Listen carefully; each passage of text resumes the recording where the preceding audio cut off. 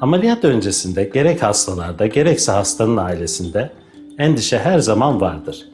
Bu durum ameliyatla ilgili endişelerin kişilerde psikolojik yansımalarıdır. Bunun yanı sıra teşhisin doğruluğu, ameliyat yöntemi, doktor seçimi veya ameliyatın zamanlaması gibi konular kişilerde tereddütleri oluşturabilmektedir.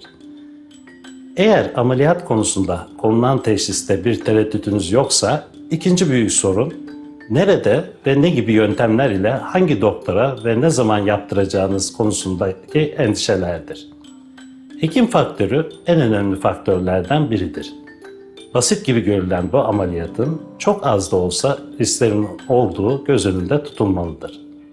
Bu nedenle ilk önce düşünmeniz ve sorgulamanız gereken husus, çocuğunuza emanet edeceğiniz hekim yeterli bilgi, birikim ve tecrübeye sahip midir sorusudur.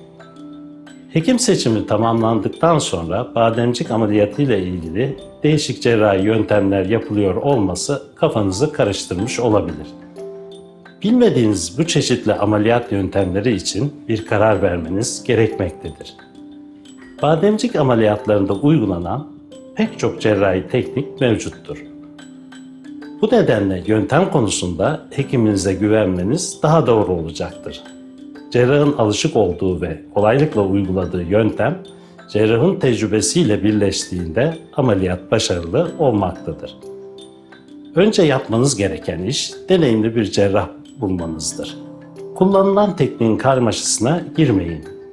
Güvenilir ortamlarda, iyi hastane şartlarında ve kaliteli anestezi ekibiyle hem risk faktörleri azalacaktır hem de tereddüt ve endişeleriniz ortadan kalkacaktır.